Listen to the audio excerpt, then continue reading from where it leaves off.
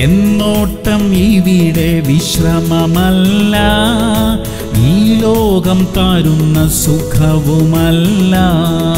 വിശ്രമം അക്കരനാട്ടിലല്ലോ അവിടെ ഞാൻ ആനന്ദിച്ചാർക്കുമല്ലോ.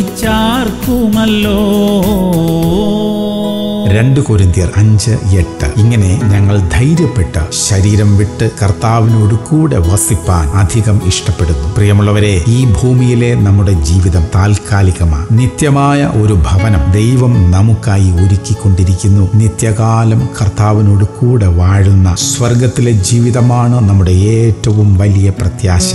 സ്വർഗത്തിലെ നിത്യ ജീവിതത്തിനായി ഒരുക്കപ്പെട്ട ഒരു ജീവിതം നയിക്കാൻ കർത്താവ് നമ്മെ സഹായിക്കട്ടെ. പ്രാർത്ഥിക്കാം. സ്വർഗീയ പിതാവേ ഞങ്ങൾക്ക് വേണ്ടി ഒരുക്കുന്ന നിത്യഭവനത്തിനായി സ്തോത്രം. ഞങ്ങളുടെ ഏറ്റവും വലിയ പ്രത്യാശ അങ്ങയോടൊത്തുള്ള നിത്യകാല ജീവിതമാണല്ലോ ആ പ്രത്യാശയാൽ ഞങ്ങളെ നിറച്ചിരിക്കുന്നതിനായി സ്തോത്രം. യേശു നാമത്തിൽ തന്നെ. ആമേൻ ആമേൻ ആമേൻ.